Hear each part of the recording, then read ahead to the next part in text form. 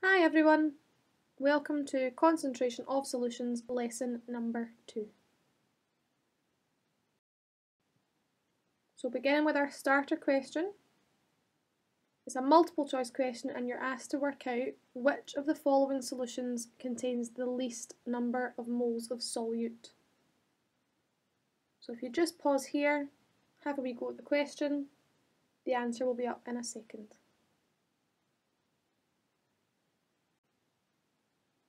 Now our answer to this question was A. In order to work this out, you were using the relationship that we covered in the previous lesson of N equals CV. If you used that relationship, you would have worked out that N for A was 0.04 moles, which was the smallest number of A, B, C and D. Now, something that you had to remember was that your volume must be in litres for this calculation. For A, the volume was 100 centimetres cubed.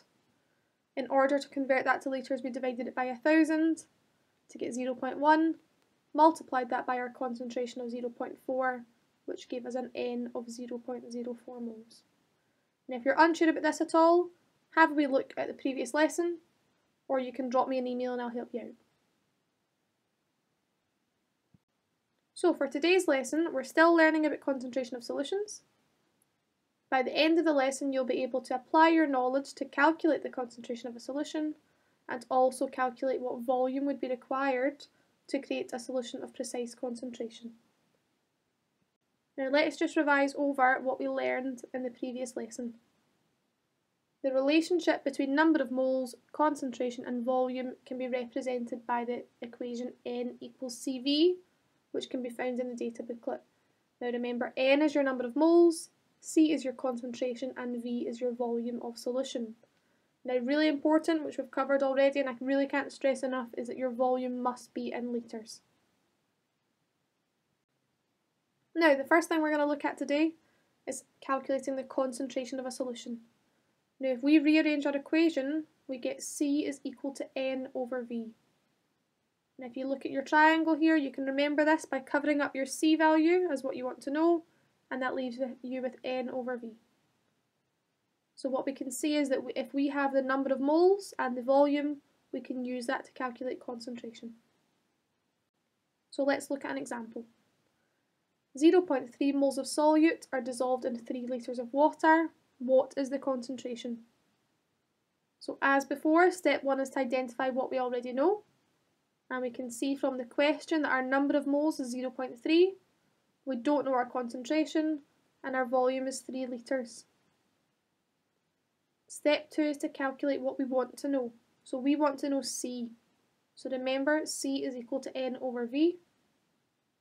That's going to be equal to 0.3 divided by 3 and so our concentration is 0.1 moles per litre. If you want to pause here and copy that example down into your jotter.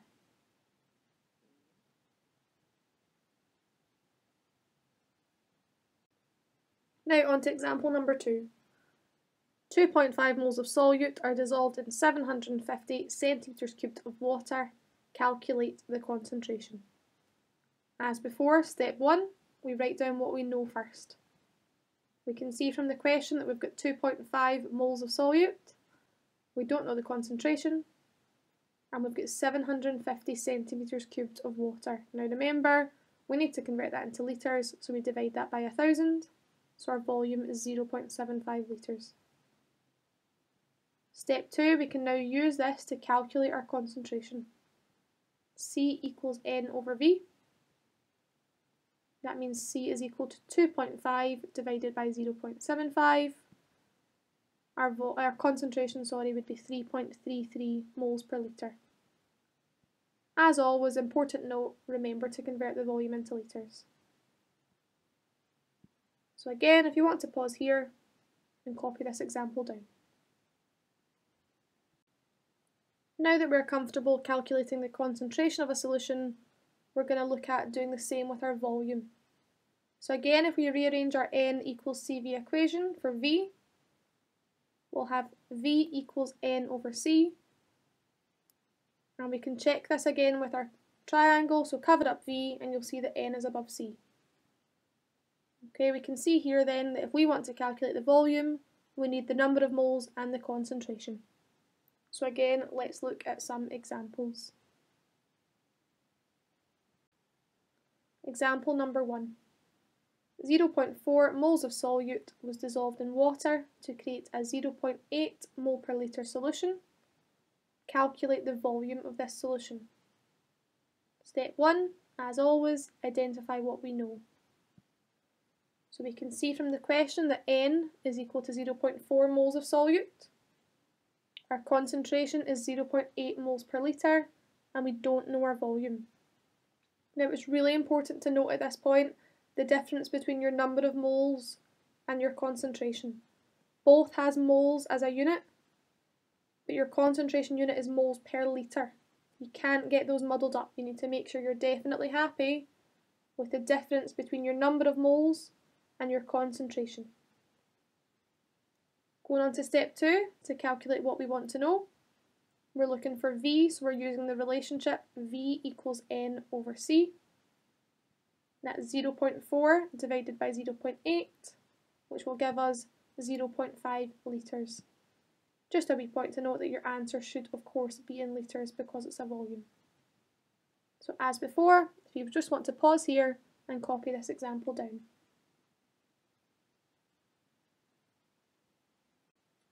Okay, our final example.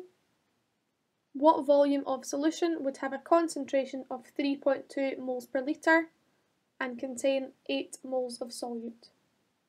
Step 1, let's write down what we know already. So our N is 8 moles. Our concentration, our C value, is 3.2 moles per litre and we don't know our volume yet. Step 2, we can now work this out.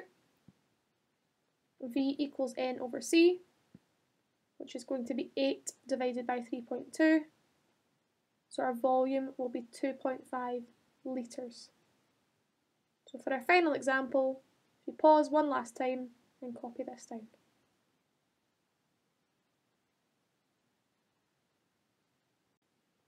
Okay, now so for some practice questions on this. Question 1 covers calculating concentration. Question 2 covers calculating volume. Remember, really important to make sure you're happy with all your units throughout. So your concentration unit is moles per litre, your volume unit must be in litres. If it's in centimetres cubed or millilitres, you're going to have to convert that first. If you're unsure with anything in this exercise at all, just drop me an email, I'm happy to go through it with you. So just to confirm what we should have learned in this lesson, so we were learning about concentration of solutions. We should now be able to apply our knowledge to calculate the concentration of a solution and also be able to calculate what volume is required to create a solution of precise concentration. If you're unsure of any of that at all, just let me know and I'll give you a hand.